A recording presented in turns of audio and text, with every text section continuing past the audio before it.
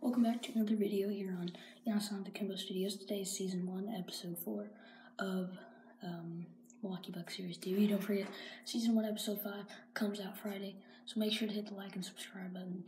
And today we will be talking about uh, the Bucks, top some top things to know about them uh, in the latest three days. So, um, number one is Jabari Parker, they said, is cleared to return Friday night to play. Um, I'm not sure who they're playing against. Oh, yeah. Last night beating the 76ers, I think of 110 to 96. Good win for us. We need to get back on track. Um, so that's good for us. Um, third thing is this isn't the Bucks, but did you guys hear about the Blake Griffin news? I was kind of shocked.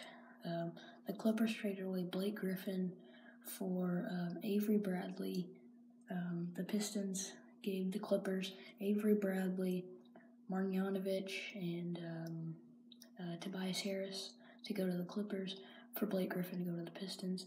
That's kind of shocking. So just tell me what you guys think in the comments section. Thank you so much for watching this video. And next person, the first person who likes or the next person that subscribes, I'll shout them out next video.